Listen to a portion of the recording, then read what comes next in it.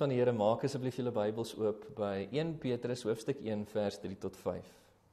1 Petrus hoofstuk 1 vers 3 tot 5. Ek wil vanmôre met julle gesels oor ons Christelike hoop. 'n Onderwerp wat so nodig is in die tye wat ons leef. Ons Christelike hoop. Die versoeking is groot vir jou en my om oor te gee aan emosies van mismoedigheid, moedeloosheid, veral gegee die talle beproewings wat ons beleef as gevolg van die COVID-pandemie en die inperking. Ek het die voorreg om nuuskommentaar te doen op Radio Kansel maandagooggende, maandagmiddag, woensdaagoggende. Ehm um, en nou die oggend toe Janine van die kerk die omroeper my op die lig sit, toe sê sy hierdie woorde: COVID, COVID en nogmaals COVID in die nuus. En dit is waar. Plus minus 80% indien nie meer nie van nuusberigte in die laaste tyd hou direk of indirek verband met die COVID pandemie. Ek het ook in die week 'n meme gesien, 'n uh, huilende seentjie met die onderskrif onder die foto: Ek verlang na die dae toe ons nog bang was vir Peloni. Nou ja, dis grappenderwys gesê, maar dit spreek boekdele oor die beproewinge waardeur mense gaan. En dit is ook die geval met die oorspronklike gehoor waarvoor die apostel Petrus hierdie brief skryf. Hulle was ook versoek om oor te gee aan emosies van mismoedigheid en moedeloosheid weens die allerhande beproewinge wat hulle beleef het. Waarvan die apostel Petrus praat in 1 Petrus 1 vers 6. Hy skryf ook in 1 Petrus 4 vers 12: Geliefdes, verbaas julle nie oor die vuurgloed van vervolging onder julle wat tot julle beproewing dien nie asof iets vreemds oor julle gekom het nie. So ons weet dat die gelowiges vir wie die apostel Petrus skryf het baie uitdagings beleef en hulle soos ons het geen blywende hoop in hierdie wêreld gehad nie. En dis daarom dat die apostel Petrus sy sentbrief begin deur hulle te bemoedig met die herinnering aan hulle vaste en seker Christelike hoop waartoe die Here hulle gered het in Christus Jesus sodat hulle nie hulle self sou oorgee aan mismoedigheid en moedeloosheid nie. En geliefdes, die Here wil ook nie hê dat jy en ek onsself moet oorgee aan emosies van mismoedigheid en moedeloosheid in ons omstandighede nie. En is daarom dat hy vandag ons ook wil bemoedig met hierdie selfde herinnering aan ons vaste en seker Christelike hoop waartoe hy ons gered het in Christus Jesus sodat ons nie sal oorgee tot mismoedigheid en moedeloosheid nie, maar dat ons onsself sal verbly in hierdie saligheid wat aan ons geopenbaar sal word by die wederkoms van Jesus Christus. En mag die Here hierdie doel dan deur hierdie boodskap vandag bereik. Die apostel Petrus bespreek in ons teks die bron van ons Christelike hoop in vers 3 en hy bied dan die beskrywing van ons Christelike hoop in verse 4 en 5 hierdie teksgedeelte is so ryk, daar's soveel diepte. Ek wil nie vinnig oor enige iets spring nie. Ek wil dit graag alles vir ons uitpak en daarom gaan ek 10 10 1 nie by alles uitkom vandag nie, maar ek sal definitief aandag gee aan die eerste onderskrif, die bron van ons Christelike hoop vanuit vers 3. Met dit as inleiding dan kom ek lees vir ons ons teksgedeelte en dan bid ons saam. 1 Petrus hoofstuk 1 vers 3 tot 5 sê geseënd is die God en Vader van ons Here Jesus Christus wat na sy groote barmhartigheid ons die wedergeboorte geskenk het tot 'n lewende hoop deur die opstanding van Jesus Christus uit die dode sodat ons 'n onverganklike, onbesmette en onverwelklike erfenis kan verkry wat in die hemele bewaar is vir ons ons wat in die krag van God bewaar word deur die geloof tot die saligheid wat gereed is om geopenbaar te word in die laaste tyd. Net tot sover uit die woord van die Here. Hemelse Vader, ons kom met soveel nederigheid en opgewondenheid na u geïnspireerde gesaghebende woord toe. Ons vra dat u deur die Gees nou ons sal verlig dat ons mag verstaan wat u vir ons sê Here dat U aan die woord mag wees deur U woord, deur U Gees. Kom bemoedig ons met ons Christelike hoop. Dit is so nodig in die tye waarin ons leef, Here. Versterk ons in Christus Jesus tot eer van U naam. Amen. Geliefdes, die apostel Petrus begin met 'n beskrywing van die bron van ons hoop. Hy bespreek die bron van ons hoop hier in vers 3. Geseend is die God en Vader van ons Here Jesus Christus wat na sy groote barmhartigheid ons die wedergeboorte geskenk het tot 'n lewende hoop deur die opstanding van Jesus Christus uit die dode. Nou uit hierdie vers uit raak Petrus aan vier waarhede omtrent ons redding. En ek wil graag julle hieraan herinner. Vier waarhede omtrent ons redding. Eerstens Petrus gee te kenne dat ons redding kom vanaf ons drie enige God alleen. Alleen en dat al drie afsonderlike persone van die goddelike drie-eenheid betrokke is by ons redding: Vader, Seun en Heilige Gees. Petrus verwys spesifiek na die Vader wanneer hy sê geseënd is die God en Vader van ons Here Jesus Christus want die Vader is die persoon van die goddelike drie-eenheid wie ons op ons redding besluit het en wie dit beplan het voor die grondlegging van die wêreld, voor sy skepping van die wêreld met ander woorde. Dit is wat Efesiërs hoofstuk 1 vers 4 vir ons sê, soos God die Vader ons uitverkies het in Christus Jesus sodat voor die grondlegging van die wêreld jammer dit beteken hy het ons uitverkies in Christus Jesus voordat hy begin skep het sodat ons die innerlike transformasie van wedergeboorte heilig en onberispelik voor hom sal wees in liefde toe alreeds voordat hy geskep het het hy ons voorbeskik vir ons redding sê vers 5 vir ons van Efesiërs hoofstuk 1 so die Vader het daarop besluit hy het dit beplan en na sy skepping van die wêreld binne tyd en geskiedenis het hy dit aan ons geskenk soos ons teks sê deur die stuur van Jesus Christus die tweede persoon van die goddelike drie-eenheid om deur sy verlossingswerk daardie redding vir ons te verdien en dit vir ons te verseker. En ook deur die uitstort van sy Heilige Gees wat die redding wat God beplan het, wat Jesus vir ons verdien het, aan ons toe te pas. Met ander woorde om dit 'n realiteit in ons lewens te maak deur die wedergeboorte. Nou, wat dit beteken vir ons dat redding alleenlik van ons drie enige God kom, is dat soos ek julle al soveel keer herinner het, Christendom is eksklusief. Dis 'n eksklusiewe geloof. En ateïste die proponente en aanhangers van ander gelowe is met ander woorde volgens Bybelse leer misleid en hulle is verlore. Ten spyte van hulle opregtheid en toegewydheid kan ons sê want ek moet met skaamte erken dat die proponente en aanhangers van ander gelowe byvoorbeeld is baie meer opreg en toegewyd in baie gevalle as hulle wat die naam van Jesus Christus bely.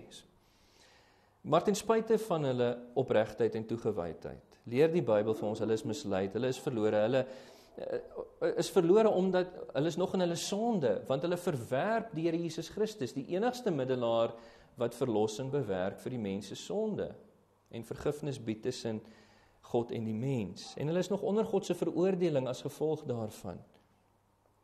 Petrus, ag Paulus beamoen wat Petrus hier aanraak in 1 Timoteus 2 vers 5 wanneer hy sê daar is een God, nie vele nie, een God en een middelaar tussen God en die mens, die mens hoofletter Jesus Christus. Redding kom slegs vanaf ons drie enige God alleen. Nou dit beteken nie dat ons ateëste en die proponente en aanhangers van ander godsdienste moet vermy nie, inteendeel, ons moet bid vir hulle redding. Dis wat Paulus ons aanmoedig om te doen in 'n teks soos 1 Timoteus 2 vers 1 tot 4. Hy sê Jammer, Paulus skryf in die eerste plek vermaan ek dan dat smekinge, gebede, voorbedes, danksegging gedoen word vir alle mense. Dit sluit daardie mense in. Hoekom moet ons dit doen en waarvoor moet ons bid? Wel, Paulus gee vir ons aanduiding in verse 3 en 4 van 1 Timoteus 2 want dit is goed en aangenaam voor God ons verlosser wat wil hê dat alle mense gered moet word. Ons moet bid vir hulle redding spesifiek dat hulle tot die kennis van die waarheid kan kom. Die storie word vertel van Corrie ten Boom, sy tydens die Tweede Wêreldoorlog gevange geneem was deur die Duitsers en in 'n konsentrasiekamp geplaas was waar sy saam met die ander gevangenes 'n groot vervolging, verdrukking beleef het, onmenslike dinge moes hulle trotseer. Ten spyte daarvan het sy aanhoudend gebid vir die redding van hierdie, ons kan sê ateïstiese Duitse soldate want uh, hulle het meer geglo in die ideologie van Hitler as in enige god. Sy het vir hulle gebid en haar biografie vertel hoe een van daardie soldate, een van die groot koppe wat die hardste, die meeste vervolging gebied het, op die ou end gered geraak het en Jesus gevind het as sy persoonlike verlosser en Here. En net soos 'n korrie ten boom moet ons aanhou bid vir die ateëste, die proponente en aanhangers van ander godsdienste wat om ons is in ons gemeenskappe wat die Here aan ons uitwys. En meer as net bid vir hulle, moet ons verhoudings met hulle aanknoop. Ehm um, met die doel om hulle vertroue te wen sodat ons op 'n geleë tyd 'n verduideliking kan bied van die hoop wat in ons is. Dat ons met hulle die evangelie kan deel volgens 1 Petrus 3 vers 15. Om dit te illustreer, ek en uh, my vrou Esther het nou onlangs nuwe bure gekry aan die agterkant en in die voorkant. En uh sodra ons gehoor het dat hulle ingetrek het, het ons gaan kennis maak met hulle. Ons het gaan sit by hulle in hulle huis, koffie gedrink. Ons het um, onsself bekend gestel. Ons het so 'n bietjie van hulle geleer uh ensovoorts. Ons het hulle kos gevat net om hulle te bedien met die liefde van Jesus, vir hulle te wys ons is hierso en hulle welkom te heet so in die omgewing in die buurt. En die idee was om hulle vertroue te wen sodat ons op 'n geleentheid later dan wanneer die Here vir ons die kans gee die evangelie met hulle kan deel. Dis dieselfde rede waarom ek my hare gaan laat sny by 'n moslem. Nie dat hy die beste haarkapper is nie, maar ek en hy het al 'n verhouding gebou en ons het telke male al as hy my hare sny het ons gepraat oor geloof, oor godsdiens en het ek al ruim geleentheid gehad om die evangelie met hom te deel. En so moet ons bid en verhoudings aanknoop met ateëste, met die proponente en aanhangers van ander godsdienste sodat ons op die ou end van die dag die lig van die evangelie kan skyn in hulle lewens. So dis die eerste waarheid omtrent ons redding wat Petrus hier aanraak in ons teks dat dit kom vanaf ons drie enige God alleen en vanaf geen ander sogenaamde God of middelaar nie. Dan 'n tweede waarheid omtrent ons redding wat Petrus aanraak in ons teksgedeelte is dat Ons redding word deur die barmhartigheid van God aan ons geskenk. En as gevolg daarvan kom dit nie op grond van enige verdienste of meriete na ons toe nie. Ons die Here het ons nie gered op grond van enigiets wat ons is of enigiets wat ons gedoen het om onsself meer redbaar te maak voor die Here nie. Kyk, wanneer iets geskenk word aan ons, dan kan dit nie op grond van verdienste ontvang word nie. Dis 'n geskenk. En wanneer iets verdien word, dan kan dit nie meer uh, 'n geskenk wees nie. En die teks sê uitdruklik dat God het ons wedergeboorte tot die wedergeboorte tot 'n lewende hoop geskenk na sy groote barmhartigheid. Dis presies wat Paulus ook sê in 'n teks soos Titus 3 vers 5 Hy sê dat ons nie op grond van die werke van geregtigheid wat ons gedoen het gered is nie, maar na sy barmhartigheid het God ons gered. Duideliker kan jy dit nie uitspel nie. En dit beteken dat ons nie uh, onsself in hoogmoed sal roem op enigiets wat ons is of gedoen het vir ons redding nie. Ons kan nie in hoogmoed roem nie. Paulus raak ook daaraan in Efesiërs 2 vers 8 en 9. Hy sê uit genade is jy gered deur die geloof en dit julle redding, die hele pakket is nie uit julleself nie, dit kom van die Here af, selfs die bekering en geloof kom van die Here af. Hy sê pertinent nie uit werke nie. Sodat ons nie kan roem nie. En dit is die toepassing vir ons. Ons kan nie roem nie, maar in nederigheid moet ons 'n waardering koester teenoor God vir sy groote barmhartigheid op grond waarvan hy ons die redding geskenk het en ons moet met dankbaarheid lof aan hom voortdurend betoon vir ons redding. Ek kan dit illustreer deur die apostel Petrus in ons teks hierso. Ek meen ons lei af dat hy is in vervoering wanneer hy hierdie sendbrief begin. Geseënd is die God en Vader van ons Here Jesus Christus wat na sy groot barmhartigheid ons die wedergeboorte tot 'n lewende hoop geskenk het deur die opstanding van Jesus Christus uit die dode. Die vloei van die grammatika in die oorspronklike teks dui daarop aan dat hy in vervoering is. Hy bied lof aan God want hy verstaan dat sy redding is nie op grond van enigiets wat hy gedoen het of is nie, maar na God se groot barmhartigheid het hy die wedergeboorte geskenk. Nog 'n toepassing op hierdie punt is dat ons ook nie hoef te vrees dat ons hierdie redding sal verloor nie. Want aangesien ons dit nie ontvang het op grond van enigiets wat ons is of gedoen het nie, kan ons ook dit nie verloor op enige grond van enigiets wat ons doen nie, mits ons waarlik weergebore is, né? En Paulus sê dit spesifiek in Romeine 5 vers 8 tot 10. Ons was die vyande van God toe God ons gered het en hoeveel te meer nie nou nadat hy ons gered het sal hy ons bewaar in ons redding en ons redding eintyd voltooi nou dat ons reeds die wedergeboorte geskenk is nie. So 'n tweede waarheid wat Petrus aanraak oor ons redding in ons teks is dat dit kom nie deur enige verdienste na ons toe nie.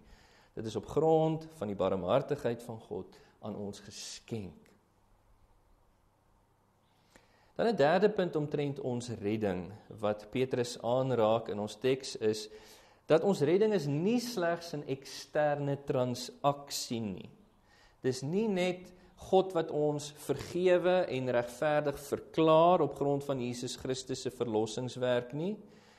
Ons redding is ook 'n innerlike transformasie. Petrus noem dit in ons teks die wedergeboorte. Dis 'n hergeboorte deur die Heilige Gees. Ek het laasweek bietjie aandag hieraan gegee, maar ek wil vandag net weer eens klem plaas hierop omdat dit so sterk uitkom in ons teks. Ons redding is nie net 'n eksterne transaksie, 'n verklaring vanaf God wat van buite af ons kom nie. Dis ook 'n innerlike transformasie, 'n hergeboorte, 'n wedergeboorte. Nou die Here praat omtrent ons redding wat ons ontvang onder die nuwe verbond en nuwe testamentye er, deurgangs deur die Bybel in terme van 'n wedergeboorte, 'n 'n lewensverandering. Byvoorbeeld in Jesegiel 36 vers 26 en 27 lees ons: Ek sal julle 'n nuwe hart gee, sê die Here, 'n nuwe gees in julle binneste gee. En ek sal die hart van klip uit julle vlees wegneem en vir julle hart van vlees gee. Met ander woorde dis 'n fundamentele innerlike verandering wat plaasvind. Die ou hart word uitgehaal, ons ontvang 'n nuwe hart vanaf die Here, 'n nuwe ingesteldheid. Die Here sê by in vers 27 van Jesegiel 36, ek sal my gees in julle binneste gee en ek sal maak dat julle in my insettinge wandel en my verordeninge onderhou en doen.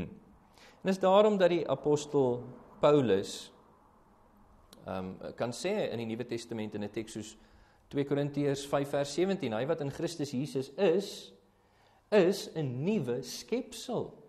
Uh, die ou ding het verbygegaan. Kyk, dis opsigtelik. Alles het nuut geword. Ook in Romeine 6 vers 3 tot 5 beskryf Paulus hierdie fundamentele verandering wat plaasvind. Hy sê: "Weet julle nie dat ons almal wat in Christus Jesus gedoop is, in sy dood gedoop is nie? Met ander woorde, toe ons as gelowiges onderdompel was, toe ons onder die water geplaas was, dis 'n simboliese uitbeelding dat ons weens ons vereniging met Jesus deur die geloof saam met hom gesterf het en saam met hom begrawe is. Die ou mens wat 'n slaaf was van sonde, die ou mens wie hy was, is dood saam met Christus en begrawe. En dan sê Paulus, ons is dus saam met Jesus begrawe deur die doop in die dood sodat net soos wat Christus uit die dode opgewek is deur die heerlikheid van die Vader ons ook so in 'n nuwe lewe kan wandel. Weereens, toe ons as Christene onderdompel was, ehm um, ons is was 'n uitbeelding dat ons saam met Jesus gesterf het, begrawe is en ook toe ons opgekom het uit die water uit, was dit 'n simboliese uitbeelding dat net soos wat die Heilige Gees vir Jesus Christus opgewek het, het hy ons ook opgewek as nuwe mense wat in 'n nuwe lewe wandel, 'n veranderde mens wat 'n veranderde lewe lei. En dis wat dit vir ons beteken ook by wyse van toepassing. Is dat ons wat die wedergeboorte ontvang het deur die groot barmhartigheid van God, moet 'n veranderde lewe lei, want wedergeboorte manifesteer in 'n veranderde lewe. Om 'n Christen te wees per definisie beteken jy is 'n nuwe skepsel anders as die ou jy. Ons kan hierdie nuwe skepsel as volg definieer: Voorheen het jy geleef vir jouself Jy was voortgedryf deur die begeertes van jou sondige natuur en jou lewe was gekenmerk deur 'n ononderbroke patroon van ongeregtigheid. Beide in gedagte en woord en daad, houding, motief, reaksie ensovoorts. Maar nou nadat jy die wedergeboorte ontvang het, leef jy nie meer vir jouself nie, jy lewe vir God. Jy word nie meer voortgedryf deur jou sondige natuur nie, jy word voortgelei deur die Heilige Gees wat jou lei binne die morele wil van God, soos hy dit geopenbaar het in die Bybel. En jou lewe kan beskryf word of word gekenmerk deur 'n ononderbroke patroon van geregtigheid. 'n Totale lewensverandering. Daar's baie mense wat Christendom bely, maar as jy nog nie die wedergeboorte beleef het, hierdie drastiese lewensverandering ondergaan het nie. Soveel sodat beide jy en jou geliefdes moet erken dat jy 'n nuwe skepsel is, 'n nuwe mens, dan is jy nog nie 'n Christen nie. En het jy ook nog nie 'n lewende hoop vanaf die Here ontvang nie. En my voorstel sou wees om jouself op God te werp deur bekering van sonde, deur geloof in die Here Jesus Christus en om by hom te pleit om ook na sy groot barmhartigheid aan jou die wedergeboorte te skenk tot 'n lewende hoop. Ek kan hierdie punt illustreer met iets so eenvoudig soos 'n pen. As ek 'n pen het wat swart skryf en ek maak hom oop, ek haal die filter uit, ek sit 'n totaal nuwe filter in wat blou skryf, ek maak hom toe, sal die pen voortaan blou skryf. Van buite af lyk dit nog soos dieselfde pen, maar daar het 'n fundamentele innerlike verandering plaasgevind wat buitekant wys. Die filter is vervang en daarom skryf die pen nou blou en nie meer swart nie. En dit is die derde waarheid wat die apostel Petrus dan nou aanraak hier in vers 3 van ons teks dat ons redding is nie slegs 'n eksterne transaksie iets wat God verklaar omtrent ons nie dis ook 'n innerlike transformasie Hy verklaar ons nie net regverdig nie.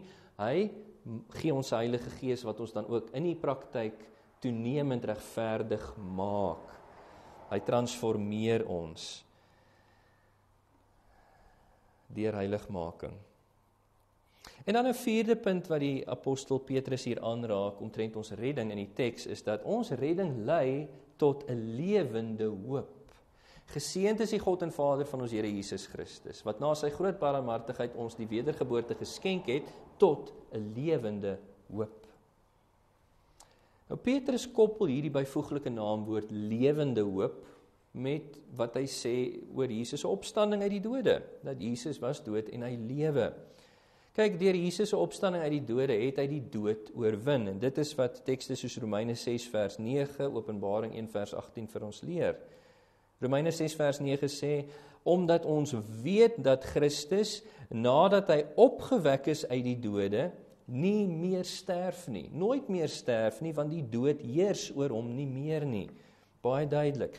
In Openbaring 1 vers 18 het Jesus self gesê ek was dood en kyk ek leef tot in alle ewigheid om nooit weer dood te gaan nie. Amen. Ek het die sleutels van die doderyk en die dood. En na sy opstanding om vir ewig te lewe, het Jesus ook opgevaar na die regterhand van God die Vader waar hy vir ons intree. En die punt is dat solank as wat Jesus Christus leef en intree vir ons, sal ons Christelike hoop altyd vas en seker wees. Gewaarborg, want dit is 'n lewende hoop verbind aan ons lewende God, Jesus Christus wat by die Vader vir ons intree. Dit is met ander woorde nie 'n dooie hoop wat op die ou end vir ons sal teleurstel nie. Soos Romeine 5 vers 5 sê, die hoop beskaam nie. Die einste uh, apostel Petrus sê in hierdie selfe uh, sentbrief in hoofstuk 2 vers 6, hulle wat op Jesus Christus hoop en hom glo, word nie beskaam nie. Ons redding lei tot 'n lewende hoop. En die toepassing hiervan is eenvoudig. In plaas van oorgee dan aan mismoedigheid en moedeloosheid, geliefdes, moet ons ons verbly in hierdie vas en seker Christelike hoop wat ons het deur ons redding vanaf God. Dis wat Petrus sê in die volgende vers na ons teks, 1 Petrus 1 vers 6. Daarin, in hierdie Christelike hoop wat ons het wat vas en sekuur is, daarin verheug julle julleself Nou, al word jy vir 'n kort tydjie bedroef onder allerlei beproewinge. Dis hierdie innerlike vreugde wat ons Christelike hoop vir ons wat wat ons Christelike hoop vir ons bied, wat ons gaan sterk maak om die uiterlike beproewinge van die wêreld met blymoedigende harte tot eer van God te trotseer. Ons weet hierdie uitdagings van hierdie lewe is nie die main event nie. Hierdie lewe gaan verby. Die main event vir ons kom nog by die wederkoms van ons Here Jesus Christus wanneer die saligheid van ons Christelike hoop aan ons geopenbaar sal word. En as illustrasie wil ek ons Here Jesus Christus hier gebruik. Dis wat hy gedoen het. Hebreërs 12 vers 2 vir ons sê vir ons dat vir die vreugde wat hom voorgehou is, het hy die kruis verdra, die skande verag en toe daarna aan die regterhand van die troon van God gaan sit. En net so, vir die vreugde wat ons voorgehou word deur ons Christelike hoop, kan ons nou die uitdagings van vandag te trotseer tot by die wederkoms van Jesus Christus wanneer ons hierdie salige hoop sal ontvang. Kom ons stop hier vir vandag. As slot wil ek net opsom wat ons gesê het en eh, dan vir ons afsluit. Ons drie enige God is die bron van ons Christelike hoop, skryf die apostel Petrus vir ons hier in vers 3 van ons teks. En hy raak aan vier waarhede omtrent ons redding hier. Eerstens ons redding kom deur ons drie enige God, Vader, Seun en Heilige Gees alleen en deur geen ander sogenaamde God of middelaar nie. Tweedens ons redding kom nie na ons toe op grond van enige verdienste of meriete, enigiets wat ons is of gedoen het uit onsself uit nie. Dit word op grond van die groote barmhartigheid van God aan ons geskenk, vrylik deur geloof. Derdens ons redding is nie slegs 'n 'n eksterne transaksie nie, maar ook 'n innerlike transformasie. Dit is 'n wedergeboorte. En vierdens ons redding lei tot 'n lewende hoop deur die opstanding van Jesus Christus uit die dode. Geliefde, wees verseker dat jou Christelike hoop vas is, dat dit seker is omdat God die bron daarvan is. Hy het dit vir jou gegee na sy groote barmhartigheid en as sulks kan niemand dit van jou af wegneem nie. Verbly jou hierin te midde die uitdagings wat jy tans beleef. Amen.